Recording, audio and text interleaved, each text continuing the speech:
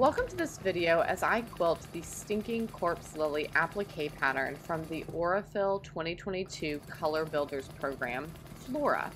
This pattern was designed by Kate Brennan and is done as fusible applique. Here I am using an Aurifil variegated thread to quilt the background of my project. You can see here we're going to start by quilting vines throughout the background of this flower because this flower grows on thick vines in the Indonesian jungle.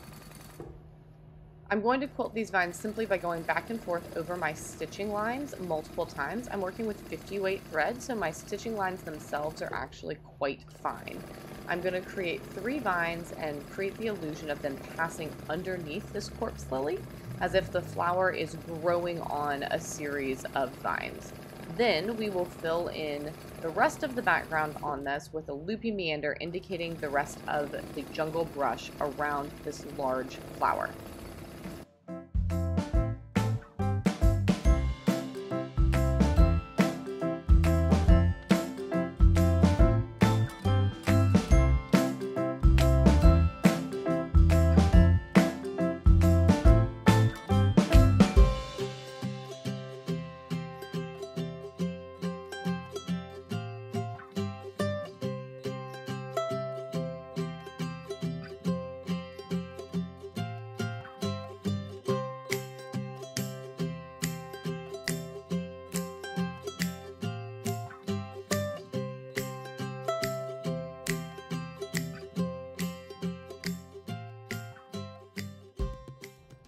As mentioned, I'm now going to fill in the remainder of this background with a loopy meander. I'm using the same green variegated thread that I used for the vines to create an interesting but cohesive look throughout the cream background of this block.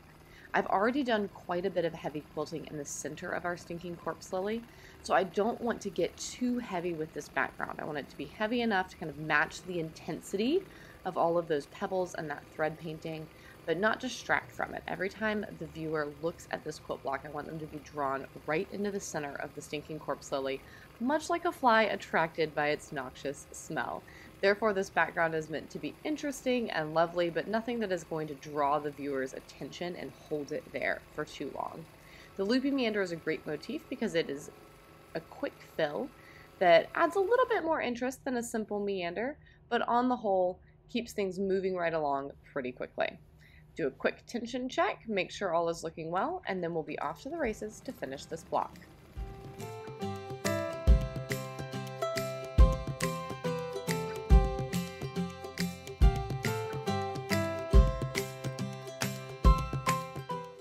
Thank you so much for watching this video of how I quilted my stinking corpse lily.